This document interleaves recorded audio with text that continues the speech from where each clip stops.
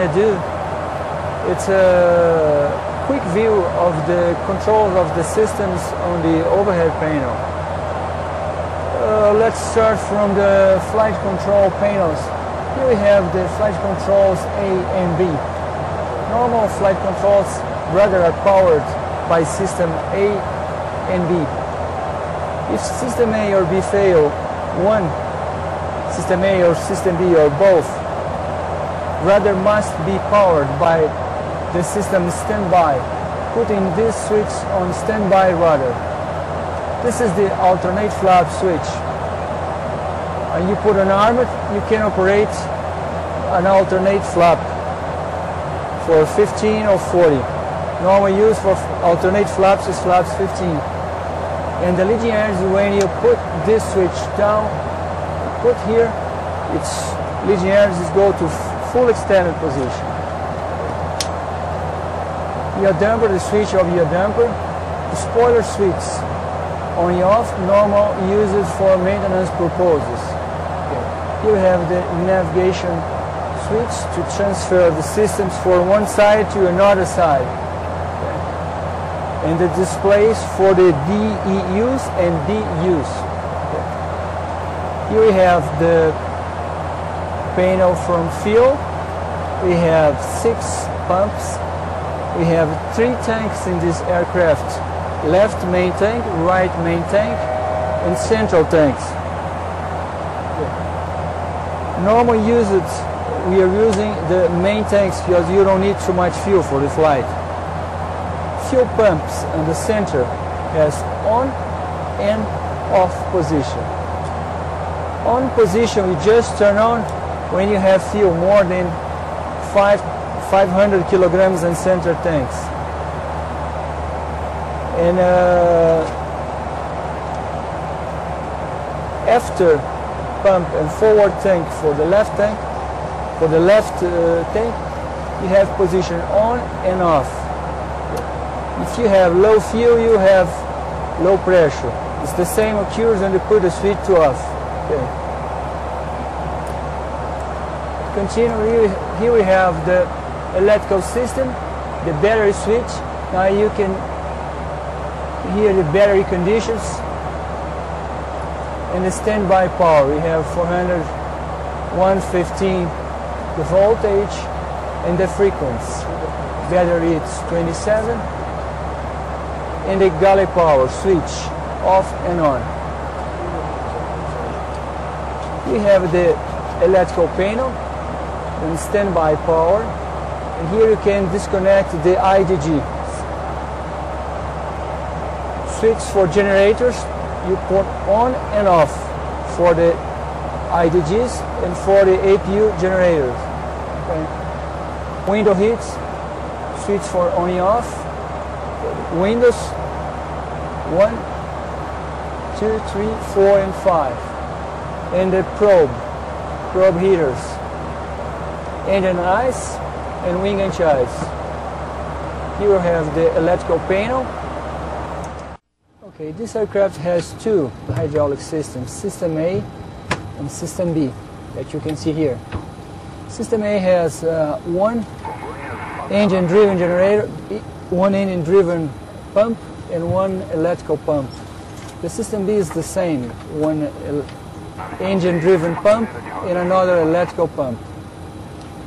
System B, normal, powered, the normal brakes and flaps. And System A, landing gear, alternate brakes, gear down, and normal steering. The primary flight controls are powered for both systems. And, uh, and that's it. Okay, so uh, I'm going to give you a quick systems overview on the first officer side. Those are the controls we operate during the flight. Captain Telm just told us about the other parts of the aircraft, the one that normally the captain is responsible, captain's areas of responsibility. You can start here by the air conditioning system. Here we have the cockpit controllers. This one can we control the supply duct, and here the passenger cabin. As you can see, right now it's indicating 20 4 degrees centigrades Celsius. That's uh, normally when the flight attendants come and ask us to, to change the temperature. First of all, we take a look here, see what the temperature is indicating, and we can control it, whether automatic or manually. In the temperature controllers, the left side controls the temperature in the cockpit. We have the automatic controller, you can go here from full cold, full hot, and manually. Manually, we simply close or open the air mix valve. Same thing happens in the right side for the passenger cabins. Right here, we have our pressurization control panel. We have left, right packs, isolation valve, left bleed, right bleed, and here the APU bleed air switch. This is the position it should be on the ground. Both packs in automatic, both bleeds bleed air switches on, isolation valve open, and the APU bleed air open so we can have air for engine start and for the passengers. Here we have our uh, cabin control panel. This is the altitude we are supposed to fly. We were cleared for flight level 370, which is pretty high, flying to Santos Dumont Airport. And this is our landing altitude. Santos Dumont landing altitude is 11 feet, so I keep it at zero here so it can program the pressurization for during the descent. You have three uh, uh, control modes here. One is an automatic, the normal mode of operation. In case you have any problem in the automatic mode, we switch it to alternate, and this green light here will go on. In case you have, uh, you also have a problem in the automatic mode, you can switch it to manual. Here, you are able to to control the valve. You can go from fluke, the outflow valve. You can go from full closed to full open. Here on the ground, it's going to be always full open. So now I turn it back to automatic, which is the normal mode of operation. And here I have uh, the cabin uh, pressurization control panel. The inner scale indicates the cabin altitude. As you can see here in Campinas, field elevation is 2,100 feet. That is the same indication we should have here in its inner scale. The outer scale is the cabin differential pressure. If in any case during our, our leveled flight we have uh, rapid decompression, the cabin altitude will switch to the altitude we'll be flying. Like if we are in flight level 370, the cabin altitude selector will go to 370 and the differential pressure will go to zero because we will be at the same pressure at our altitude. And uh, the max differential pressure per hold is 9.1 psi. This other gauge here is the uh, cabin uh, rate of climb selector. Normally, in automatic mode, it will operate at a rate of 350 feet per minute. And uh, that's pretty much about it in our side. Thank you very much. Hope you enjoyed. I do. It's a quick view of the controls of the systems on the overhead panel. Uh, let's start from the flight control panels. Here we have the flight controls A and B. Normal flight controls rather are powered by system A and B.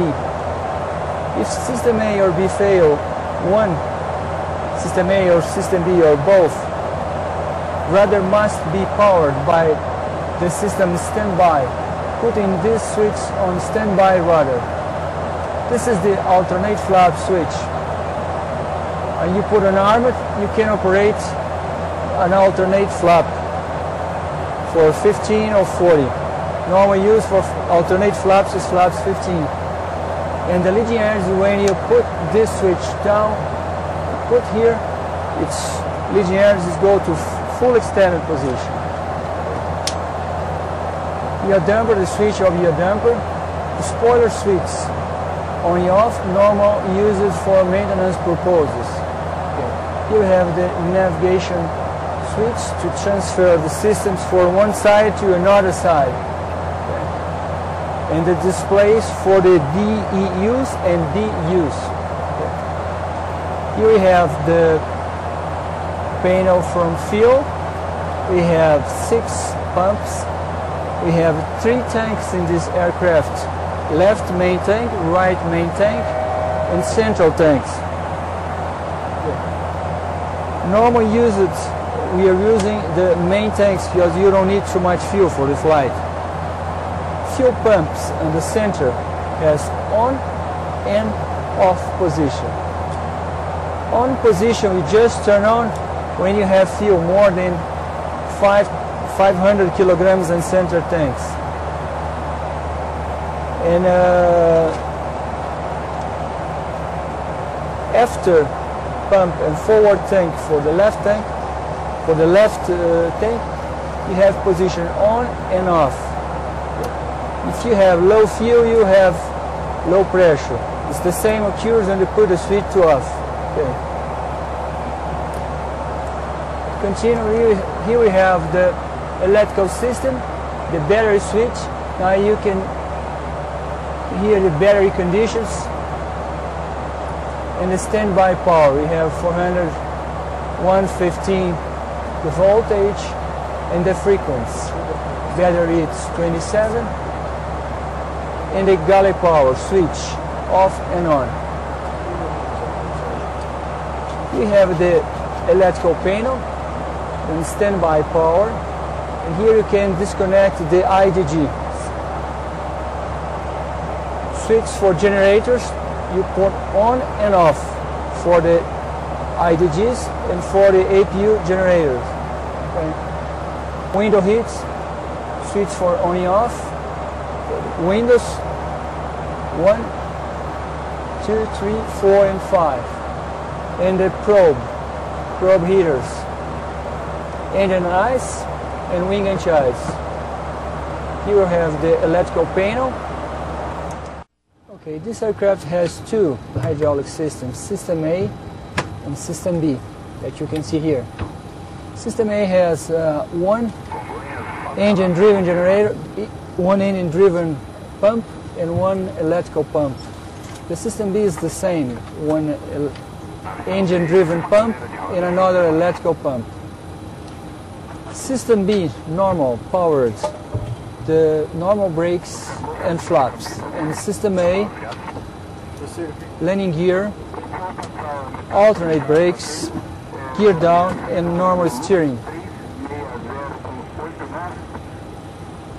The primary flight controls are powered for both systems. And, uh, and that's it. Okay, so uh, I'm going to give you a quick systems overview on the first officer side. Those are the controls we operate during a flight. Captain Telm just told us about the other parts of the aircraft, the one that normally the captain is responsible, captain's areas of responsibility. You can start here by the air conditioning system. Here we have the cockpit controllers. This one you can we control the supply duct, and here the passenger cabin. As you can see, right now it's indicating 24 degrees centigrade Celsius. That's uh, normally when the flight attendants come and ask us to, to change the temperature. First of all, we take a look here, see what the temperature is indicating, and we can control it, whether automatic or manually. In the temperature controllers, the left side controls the temperature in the cockpit. We have the automatic controller, you can go here from full cold, full hot, and manually. Manually, we simply close or open the air mix valve. Same thing happens in the right side for the passenger cabin. Right here we have our pressurization control panel. We have left, right packs, isolation valve, left bleed, right bleed, and here the APU bleed air switch. This is the position it should be on the ground. Both packs in automatic, both bleeds bleed air switches on, isolation valve open, and the APU bleed air open so we can have air for engine start and for the passengers.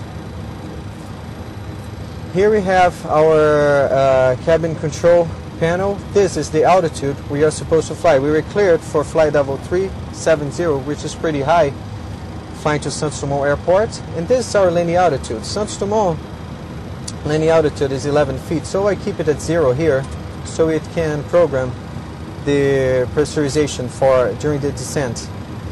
You have three uh, modes, uh, control modes here. One is an automatic, the normal mode of operation. In case you have any problem in the automatic mode, we switch it to alternate, and this green light here will go on. In case you have, uh, you also have a problem in the automatic mode, you can switch it to manual. Here, you are able to to control the valve. You can go from full, the outflow valve. You can go from full closed to full open. Here on the ground, it's going to be always full open. So now I turn it back to automatic, which is the normal mode of operation. And here I have uh, the cabin uh, pressurization control panel. The inner scale indicates the cabin altitude. As you can see here in Campinas, field elevation is 2,100 feet. That is the same indication we should have here in its inner scale. The outer